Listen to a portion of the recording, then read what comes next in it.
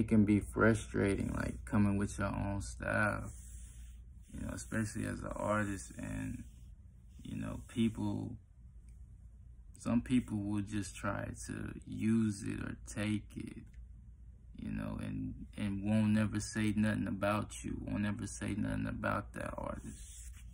They'll just use it, you know what I'm saying? Some of them may use it because they rock with you. Some of them use it. Some of them may use it because they're using it. You won't really know the reason, to be honest, especially if they don't talk to you. You won't know the reason, you know.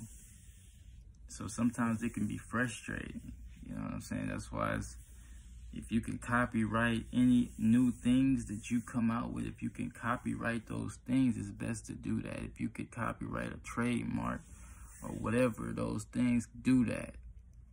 Because there are people that will try to take your ideas and things. Now all the people that used this look that I got, they used it and they were they were sincere and that they did it because they rock with me. That's cool. But I know there's some people that just used it because it was just something to do. It was something to enhance what they doing. It was something to be different.